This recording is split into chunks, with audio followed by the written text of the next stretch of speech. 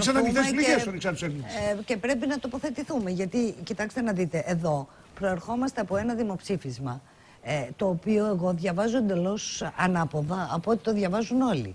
Πρόκειται για μια μεγάλη ήττα της κυβέρνησης, διότι σε ποσοστό 62% ο λαός είπε όχι σε όποια συμφωνία έφερε, σε όποια κατάληξη είχε η διαπραγμάτευση της κυβέρνησης μέχρι σήμερα. Δηλαδή, η κυβέρνηση διαπραγματευόταν πέντε μήνες και έφερε αυτό το οποίο ονόμαστε λεσίγραφο, ε, πρόταση, δεν ξέρω τι, κάτι έφερε.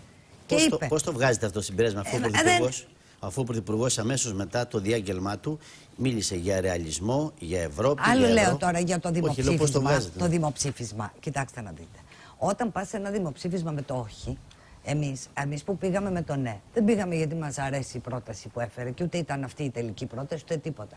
Πήγαμε γιατί. Πάντω και οι δύο ακριβώς- πάνω στην πρόταση ψηφίσατε. Ένα- όχι, όχι. Όχι, ναι. Εμείς ψηφίσαμε Εσείς πάνω λέγατε στο ναι στα ευρώ. μέτρα και οι άλλοι λέγανε όχι στα Όχι, μέτρα. όχι, ακριβώς. Όπως ήταν διατυπωμένο, λέω. Δεν ξέρω, αυτό το έκανε η κυβέρνηση. Ναι, Εγώ η κυβέ- λέω το κυβέρνηση. εξής. Ναι, ναι, ναι. Αλλά Αυτό όπως ήταν που διατυπωμένο, είπαμε. Αντρέα, όπως ήταν διατυπωμένο. Αναγκαστικά. Ε, βέβαια, μια Έτσι στιγμή να αναγκαστικά τελειώσω. έλεγε όχι. Μια Μα γι' στιγμή. αυτό βγήκε και το Εσύ στο 61%. πίσω μέρο του Ναι, κεφαλιού γι' σου αυτό και βγήκε. Μα άλλα, γι' αυτό βγήκε το ο κύριος 61%. Χρυσόπουλος άλλα. Ρε Γιώργο μου, Μπορώ αν να πω ρώταγες κάτι. τον κόσμο, Εάν θέλεις μέτρα ή δεν ρωτάγατε θέλεις και μέτρα, τι εμένα- θα σου έλεγες; Και εμένα, Και- αυτή η πρόταση θα και έλεγα πώς όχι. βρέθηκαν 38% Αυτό- να πούνε ναι. Στάσου, ρε, Αντρέα, μια στιγμή. Εγώ είπα όταν είδα αυτή την πρόταση, τόσο χάλια. Αυτό τα όμως έχει κάνατε. τελειώσει, Σοφία. Ε, άρα πρόκειται για Βούλτεψη. αποτυχία στην οποία είπε όχι ο λαός. Τελείωσε. Και ήρθαμε στην επόμενη μέρα. Λοιπόν, άρα μην μου λέτε ότι είναι επιτυχία. Ο λαός είπε όχι σε αυτό που έβλεπε. Μάλιστα. Σε αυτό που του λέγαμε. Ότι είναι μέτρα, ότι είναι έτσι, ότι αλλιώς. Εμείς λέγαμε, μην κάνετε δημοψήφισμα, διότι το μήνυμα πάει έξω, όπως είπανε. Λένε εμείς, λέει, πήραμε το μήνυμα ότι στοιχίζεται το 60% των Ελλήνων πίσω από μια αρνητική Πάντως μην πείτε και διάθεση. εσείς αυτό που είπε η κυρία Λοιπόν, Λιμπεράκη, ότι οι φτωχοί κάνουν λάθος σε κρίσιμες στιγμές. όχι, όχι, όχι, όχι, μισό λεπτό. Μπορώ να πω Ε, κάτι. το άκουσα και Ο τρελάθηκα. λαός, ο λαός αυτή τη Ε, μα οι στιγμή. πλούσιοι δεν κάνουν.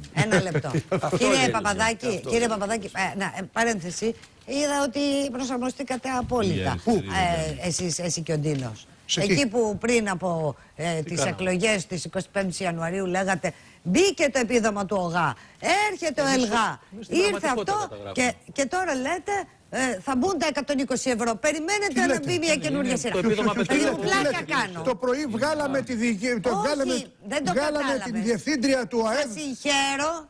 Σας Ο, ο συγχαίρω κύριος που Ρωμανιάς, προσαρμοστήκατε. ο κύριος, Ρωμ- στον κύριο Ρωμανιά, Ναι, α, ναι, α, α, ναι. με τη λογική της Ναι, με κριτικής. την της κριτικής. κατάσταση. Αυτό ναι. εισπράττει αυτό. Ο κύριος Ρωμανιάς ήταν ε, εδώ, σε αυτή εδώ την εκπομπή, όταν του είπα αισθάνεσαι καλά που τόσο καιρό έλεγες ότι είναι εγγυημένες οι συντάξεις και Ναι, τώρα ναι, ναι, πηγαίνουν αυτό 160. Και μου λέει Γιώργο αισθάνομαι φοβεράς άσχημα. Ωραία. Και 60 μέχρι να, αύριο. Να τελειώσω λίγο τη σκεπτικό από μου. Πέμπτη πάει εικοσαρικάκι. Άρα λοιπόν. Αλλά εγώ να δεν θα πω τελειώσω λίγο στο. το σκεπτικό μου. Ξέρετε, Όχι, εγώ λοιπόν, χαίρομαι, χαίρομαι να με πείτε, εγώ χαίρομαι να με πούνε από Όχι, το το ΣΥΡΙΖΑ έκανα λαϊκιστή. παρένθεση, όχι. Όπως με λέγατε εσείς επί Νέας Δημοκρατίας λαϊκιστή Λοιπόν. που είχα ασχοληθεί με τα λαϊκά ζητήματα. Κύριε Χαίρομαι αν Παπαδάκη. κάποια στιγμή.